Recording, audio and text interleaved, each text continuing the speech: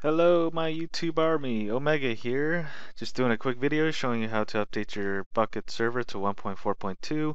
If you could give this a video a quick like, that'd be awesome. It takes like two seconds. I'd like to get 100 likes if possible. Um, if I get 100 likes, I'll do a giveaway for a free Minecraft server hosted 24-7 by me. So anyways, let's get started. What you need to do is go to the link in the description down below the video. It takes you here. Click on alternate and here you see the Minecraft 1.4.2. Just click on download. Download it to somewhere you'll be able to easily find it.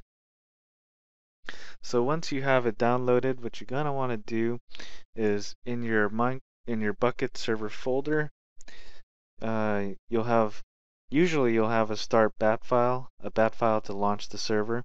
It's just a quick little JavaScript. Um, and what you're going to want to do is once you download the Bukkit file, go to wherever you downloaded it to, and you're going to have to rename it. So make sure it matches whatever your run bat file. So you're going to need to edit it with note edit the start bat file or whatever you called it with notepad. And we're here at the end where it says craftbukkit.jar. Make sure it matches what the jar file looks like. So craftbukkit.jar and match that. Then you just launch the server.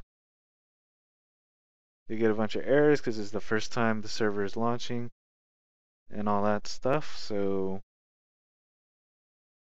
um, unless you already have, you know, a world already and all that stuff. So that's basically it. Thanks for watching and hopefully this has helped. And please subscribe, thumbs up, comment, all that stuff. And if you want, rent a server from us, gizmoservers.com. Thanks.